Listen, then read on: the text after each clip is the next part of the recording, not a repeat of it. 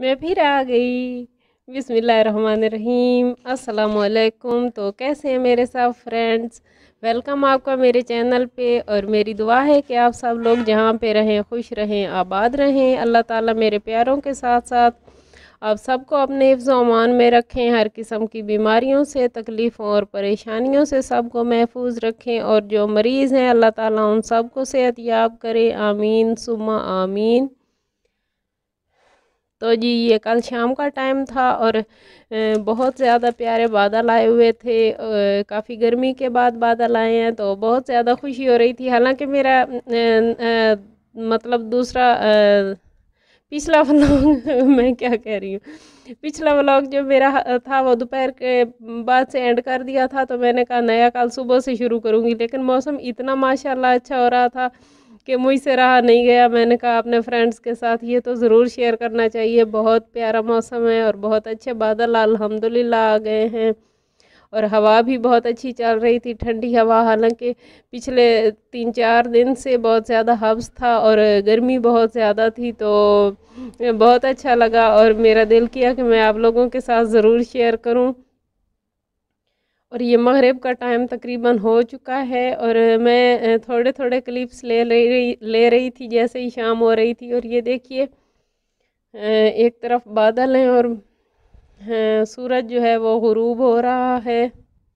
तो मैं चाह रही थी कि जो भी बादल जैसे भी आते हैं सूरज के आगे से या जिस तरह का भी मंज़र होता है तो वो मैं सारे जो है ना क्लिप्स आप लोगों के साथ ज़रूर शेयर करूँ। और ये देखिए कितना प्यारा मंज़र है, बादल हैं, सूरज की किरणें निकल रही हैं बादलों में से। बस अल्लाह ताला की कुदरतें हैं, जिनको देख के अकल हैरान रह जाती है। मैं अपनी तरफ़ से कोशिश कर रही हूँ आप लोगों को करीब से दिखाने की, पता नहीं ठीक से असल में मुझसे हो नहीं रहा है, हवा काफ़ी चल रही है। तो अल्हम्दुलिल्लाह अल्हम्दुलिल्लाह, मौसम बहुत अच्छा हो गया है। ये देखिए आप सारे शहर के ऊपर बादल छाए हुए हैं। और बहुत अच्छा लग रहा है, बहुत अच्छा लग रहा है, क्योंकि शदीद तरीन गर्मी के बाद बादल आए हैं तो वैसे भी बादल का और बारिश का मौसम अच्छा ही लगता है, सभी को अच्छा लगता है, लेकिन इतने शदीद हब्स और गर्मी के बाद आए तो फिर तो और भी ज़्यादा अच्छा लगता है। तो आप डरिएगा नहीं जो मैं करीब से दिखा रही ऐसा ना हो कि आप लोग डर जाए कि ये क्या हम आसमान पे पहुँच गए, या बादलों पे पहुँच गए।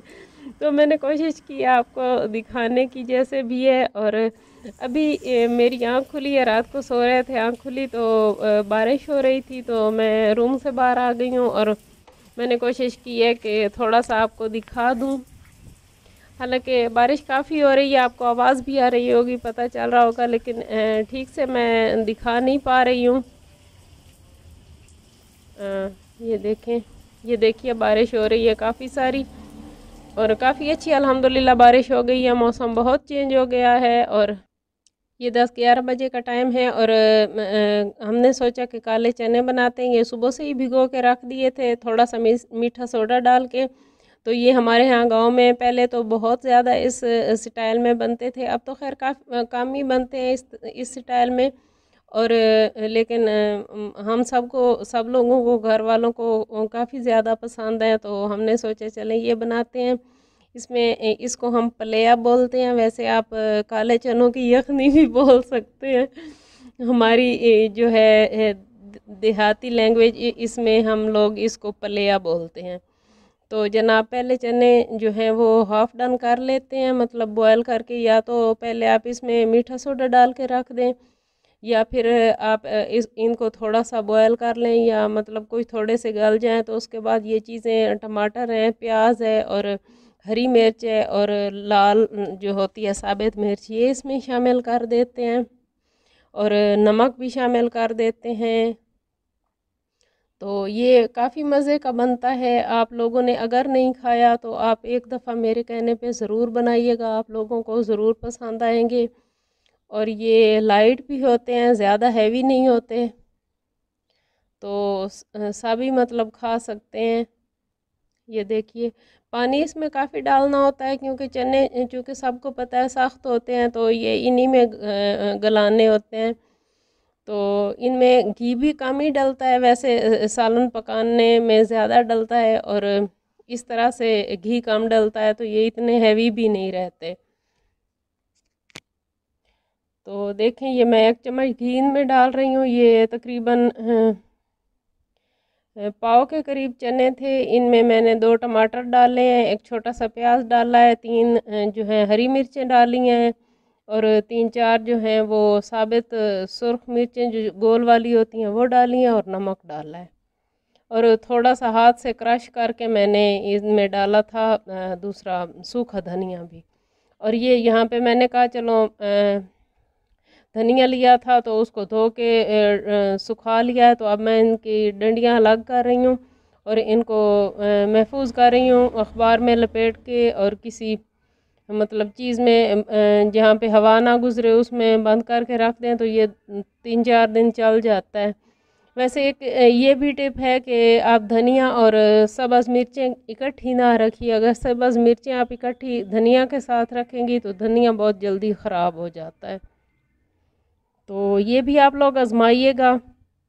और अगर कोई और तरीका है धनिया महफूज करने का जो ज़्यादा दिन तक चल जाए तो प्लीज़ वो मेरे साथ ज़रूर शेयर करिएगा, कमेंट्स में ज़रूर बताइएगा कि आप लोग किस तरह से धनिया रखते हैं या किस तरह से स्टोर करते हैं।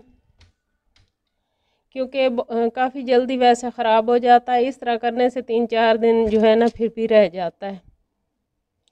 तो जनाब, अगर आप लोग मेरे चैनल पे नए हैं तो प्लीज़ मेरे चैनल को सब्सक्राइब कर लीजिए और बेल के बटन को प्रेस करके आल पे कर दीजिए ताकि मेरी आने वाली वीडियोस के नोटिफिकेशन आपको मिलते रहें और कुकर को डाल दीजिए ढक्कन।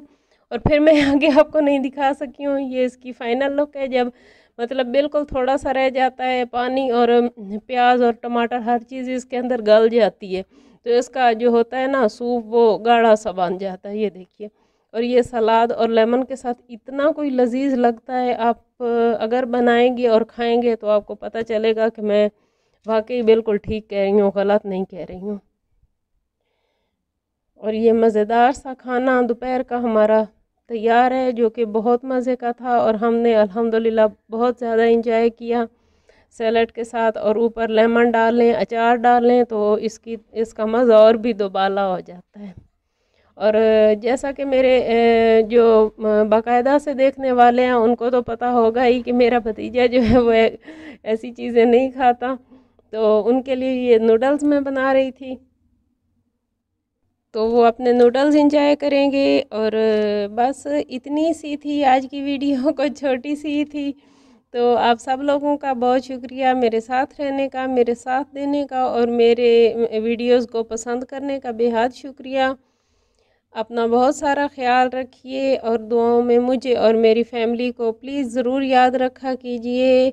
बहुत शुक्रिया एक दफ़ा फिर। अल्लाह हाफिज़।